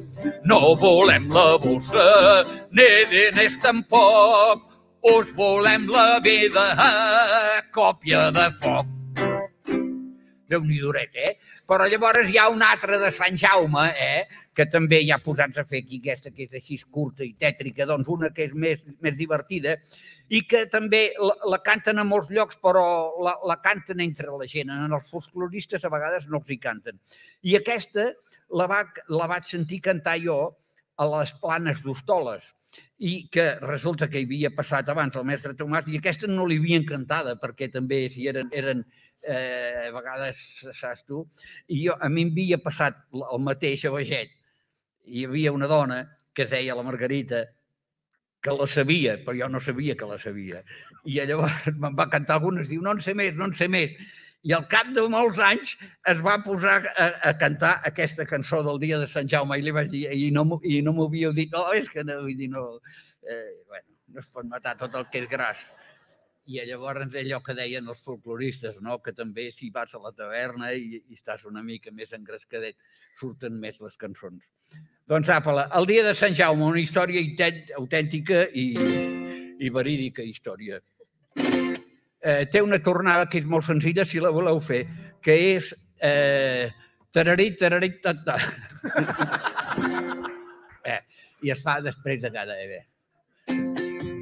Bé, no cal ensejar-la, eh? El dia de Sant Jaume és un dia assenyalat. Se n'ha gornit un tracte d'una noia i un soldat. Se n'ha gornit un tracte d'una noia i un soldat. Si se'n van en el quarto i al llit se n'han tirat. Si se'n van en el quarto i al llit se n'han tirat. Sa mare els hi atrapa, que hi feu los desgraciats. Sa mare els hi atrapa, que hi feu los desgraciats. No digueu res al pare, que ja ens hem arreglat. No digueu res al pare, que ja ens hem arreglat. Guanyo quatre pessetes, us en daré la meitat. Guanyo quatre pessetes, us en daré la meitat. No te'n vull res, no, filla, que bé prou que t'han costat. Thank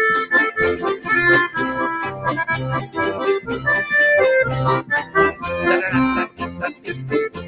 No te'n vull res, no, filla, que bé prou que t'han costat. De fortunes com aquesta jo no en puc trobar mai cap. De fortunes com aquesta jo no en puc trobar mai cap. Que voleu trobar bon pare, que el porteu massa arrugat. Que voleu trobar bon pare, que el porteu massa arrugat. Farem córrer les boles i el taco del billar.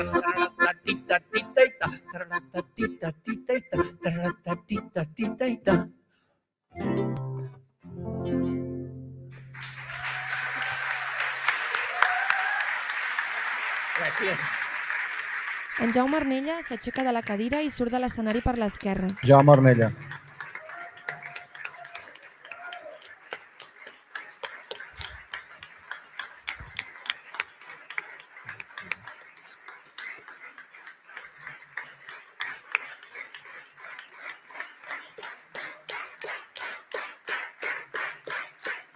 Jaume treu el cap pel lateral de l'escenari i saluda amb la mà. Bé, moltes gràcies per tot. Ara sí, comencem a acabar seriosament. En farem un parell més. Espero que hagueu estat a gust. Heu estat bé? Molt bé. Doncs millor deixar-ho aquí.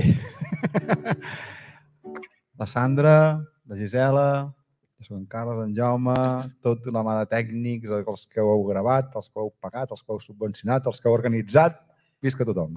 I visca Catalunya. La Gisela s'aixeca de la cadira i es col·loca davant del micro per cantar. Tornarem cap a la muntanya, ens anem a Ribes. Farem una de les versions de la Blanca Flor, eh, que ha multat. I acabarem després amb una obra exquisida de, de mestre Tomàs, La nit serena en acabat. Blanca Flor. Thank you.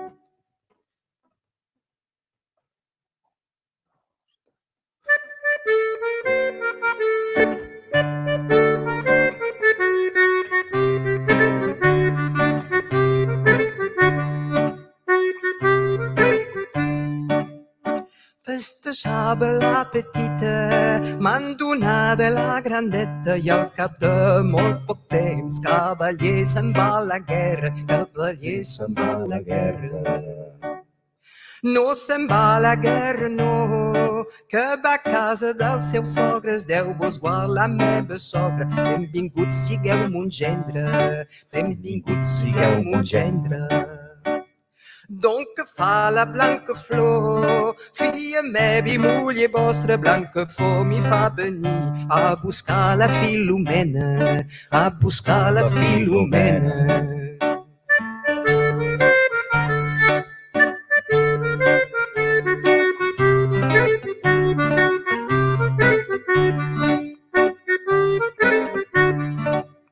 perquè n'hem tingut un nen per anar més ben cuidadeta se l'emporti a algun compte s'emporti a Norabuena l'emporti a Norabuena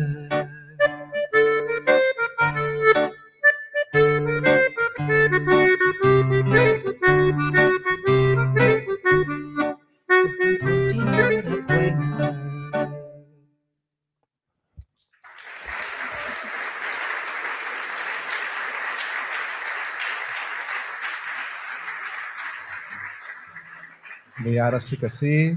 Moltes gràcies. I per acabar, com toca, una cançó exquisida de Mestre Tomàs, Nit serena de Nadal. just per anar a dormir ben bé. Suau.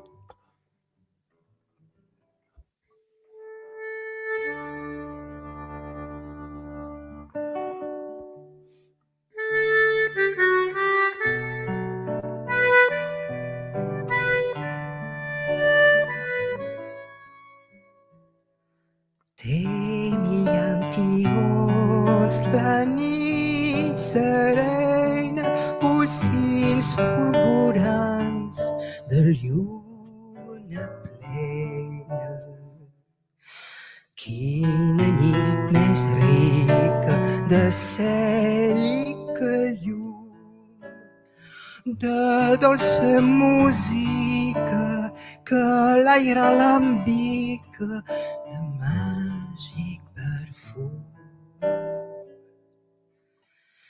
Té millantions la nit serena, bocins fulgurants de lluna plena. L'augusta grandesa que inunda la nit pos una promesa de pau i dolcesa en nostre esperit. Té millantions la nit serena, bocins fulgurants de lluna plena.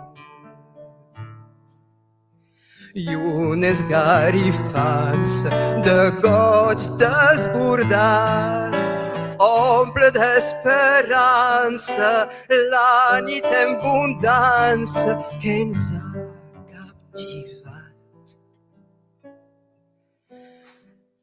Té millantions la nit serena, bocins fulgurants de lluna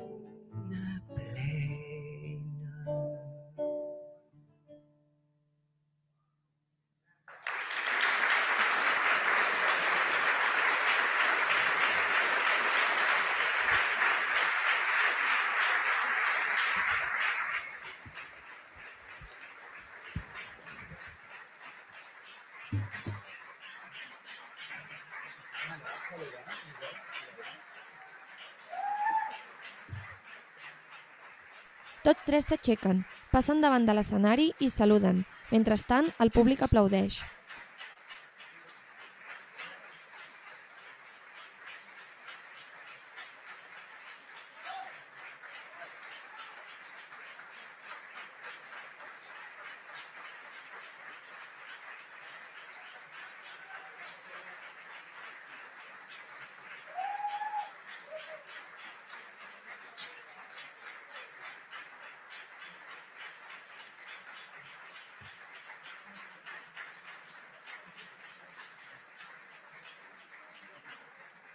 Apareix, ocupant tota la pantalla del vídeo, el cartell que hem vist a l'inici amb la foto de Joan Tomàs, el 125 i el text Joan Tomàs.